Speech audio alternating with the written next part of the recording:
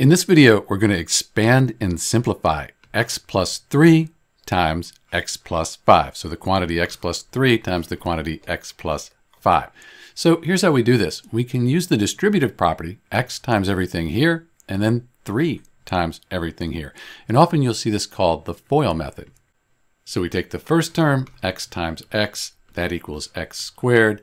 We take the outside, x times 5, that's our 5x. The inside, 3 times x, that's 3x. And then the last, 3 times 5, that's 15. So now that we've expanded this, we can simplify.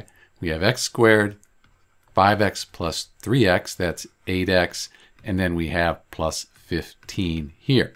So when we expand and simplify x plus 3 times x plus 5, we get x squared plus 8x plus 15. If you factor this, this is what you get, x plus 3 plus x plus 5. This is Dr. B, and thanks for watching.